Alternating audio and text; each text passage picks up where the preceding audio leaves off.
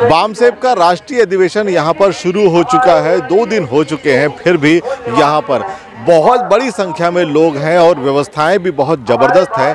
नागपुर में हम हैं इस वक्त और यहाँ पर वामन मेश्राम जी ने कल ही एक प्रेस कॉन्फ्रेंस में उन्होंने कहा कि इस बार ईवीएम फोड़ी जाएगी, यानी कि भारतीय राजनीति को किस तरह से प्रभावित किया जाता है। ये ईवीएम के माध्यम से ये उन्होंने कहा कि कई वर्षों से जो ईवीएम की वजह से जो ऐसे लोग शासन कर रहे हैं, जिन लोगों को भारत की इस न्याय व्यवस्था पर, संविधान पर विश्वास नहीं है, उन्होंने कहा कि गलत लोग शासन कर रहे हैं ईवीएम के माध्यम से, ये उन्होंने बात कही है। कल नागपुर में ही जो है, प्रकाश अंबेडकर जी ने भी मनुस्मृति दहन का एक बड़ा प्रोग्राम रखा था और इस वक्त बामसेब का ये जो राष्ट्रीय अधिवेशन यहाँ पर चल रहा है, यहाँ पे अलग अलग क्षेत्रों से आए हुए अलग अलग प्रांतों से आए हुए लोगों ने अपनी बात रखी है। इस वक्त भी भाषण चल रहे हैं। आपको यहाँ के तमाम जो व्यवस्थाएँ हैं और साथ ही यहाँ पर किस तरह से लोग अपनी भावनाओं को व्यक्त कर रहे हैं,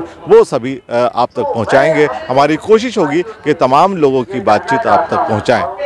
ऊंच नीच के साथ में जो भेदभाव करते हैं उनके हिसाब से हमारी जो भी भावना है, उन भावना की कोई कदर नहीं।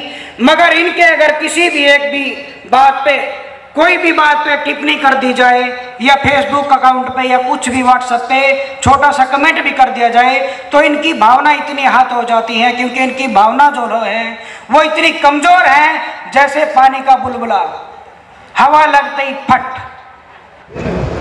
मुसलमान वन व्यवस्था को नहीं समझने की वजह से एक बहुत बुरा कॉन्सेप्ट उनके दिमाग में है कि इस देश में हिंदू है और मुसलमान है। हम मुसलमान हैं हमारे अलावा सारे के सारे हिंदू हैं। जब इस तरह की विचारधारा मुसलमानों के अंदर पैदा होती है तो आरएसएस इस, इस सोच को बहुत अच्छी तरह से हैंडल करता है यूज़ करता है और सारे समाज को ये बताता है ये जो मुसलमान है वो विदेशी है। मुसलमान जो है असल समस्या का आ, की वजह जो है और इस तरह से समाज को दो हिस्सों में तकसीम करने में वो कामयाब हो जाते हैं। जब वो जो हिंदू नहीं है, उनको हिंदू बनाने में सक्सेस हो जाते हैं तो फिर उनका मूवमेंट सक्सेस होता है और हमारी नासमझी की वजह से पूरे समाज का सत्यानाश होता है। और पूरे समाज का सत्यानाश हो रहा है। तो इस बारे में अगर देखा जाए तो भारत में कोई कॉन्क्रीट बेस में समाज को समझने की कोशिश नहीं की गई। सिर्फ़ अल बेरूनी ऐसा आदमी था जिसने सुबह पहले यहाँ भारत में आने के बाद, यहाँ के समाज को, यहाँ के व्यवस्था को, यहाँ के कल्चर को उन्होंने समझा और अपने लोगों को समझाने की कोशिश की। लेकिन उसके बाद फिर ये उस तरफ़ तवज्जो कोई नहीं दिए, जिसकी वजह से एक प्रथा बन गई कि हम हम मुसलमान हैं और बाकी सारे हिंदू हैं।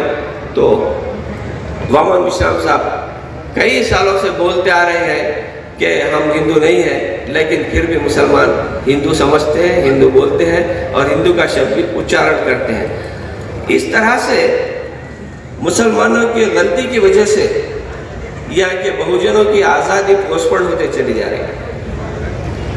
इस आज़ादी को पोस्टपोन नहीं होना है तो फिर चाहिए कि मुसलमान समाज को समझे, खास तौर से भारतीय समाज को, यहाँ के वन व्यवस्था को और यहाँ के कल्चर को समझकर सही एंगल से उसको देखकर अगर हम अपना पाल से प्रोग्राम बनाते हैं तो यहाँ के समाज को समझने से एक चीज़ बहुत बढ़िया होगी कि दोस्त और दुश्मन की पहचान हमारे अंदर आए।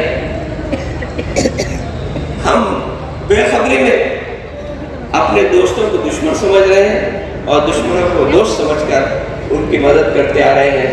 आज़ादी के पचहत्तर साल तक भी यही सिलसिला चला है। जबकि आज़ादी से पहले अगर हम तहरीकें देखें इस देश में तो हिंदू मुस्लिम की तहरीक नहीं थी बल्कि बहुत सारे रिफॉर्म्स की तहरीक थी। मिलते हैं यहाँ के लोगों से।